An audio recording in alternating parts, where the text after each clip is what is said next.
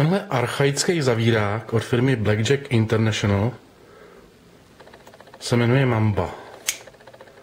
Má opravdu takový dost archaický vzhled, vylepšený těma moderníma a docela dlouhýma velkýma kolíčkama. Jenom potřeba se dostat přes, tu, přes ty střenky, aby to bylo použitelné, protože tady není žádný. Je tam výřez, ale jenom na zapadnutí kolíčků, jinak na, na to, aby se člověk snadněji dostal ke kolíčku, jako to bývá na moderních zavírácích, tam není. Tak akorát velký, tuším 4,5 palce. Měl i pevnou verzi, ale ta už je, tuším, zcela nedostupná. Zbyly tyhle ty hezký, historicky vypadající lookbacky.